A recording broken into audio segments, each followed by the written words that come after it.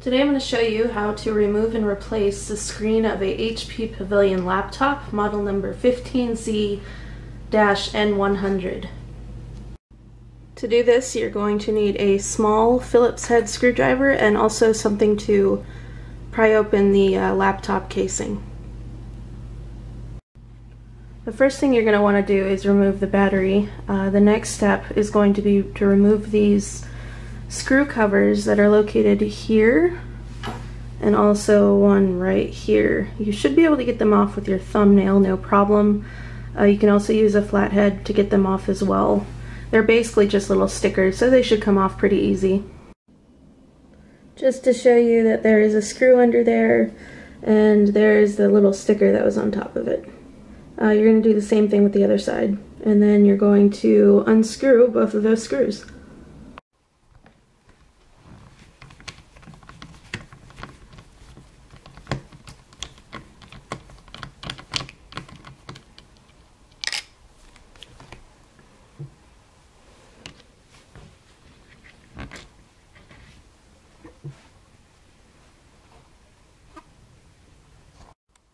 Now that you have both of those screws uh, taken out, you should be able to pry it, pry it off pretty easy.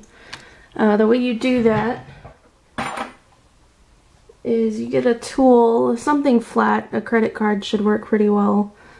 And you could start right here, is fine, and just start prying it gently open.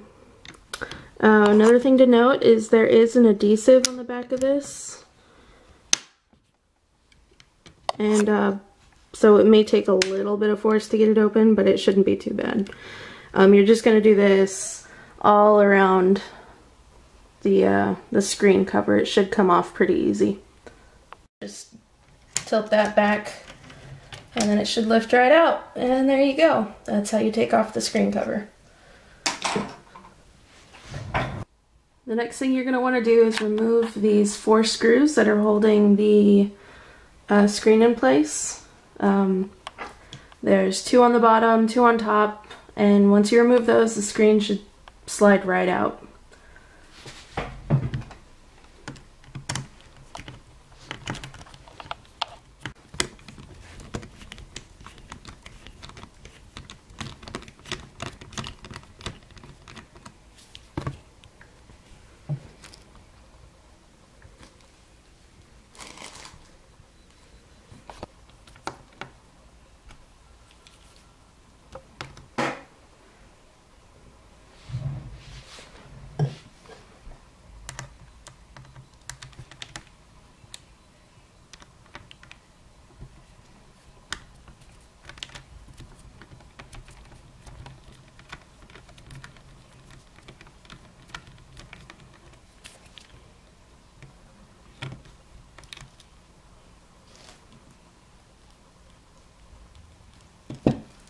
Alright, and just to recap, there should only have been four screws. There's one right there, one right there, one down here, and one down here that you removed.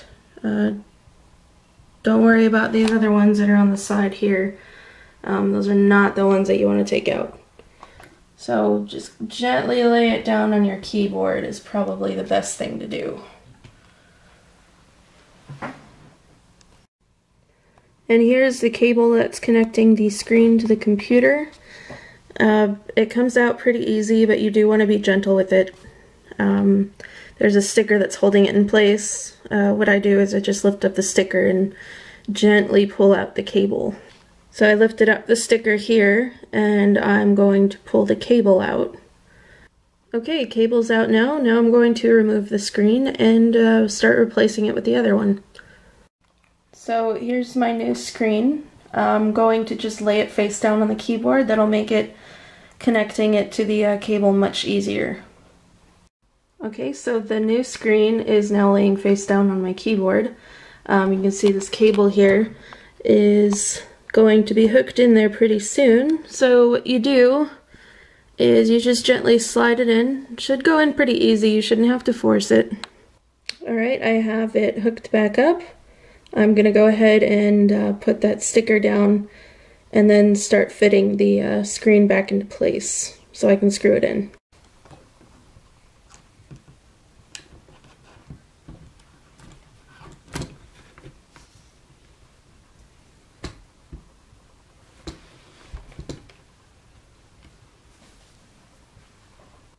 You should still have four screws that hold the uh, screen in and they will go right, let me point that out real quick, right here, right here, here, oh I'm sorry, here, and right there. Alright, the uh, screws are in place. Uh, the screen is pretty pretty uh, stabilized there. Uh, the next thing I'm going to do is I'm going to put the plastic casing back on top of the screen.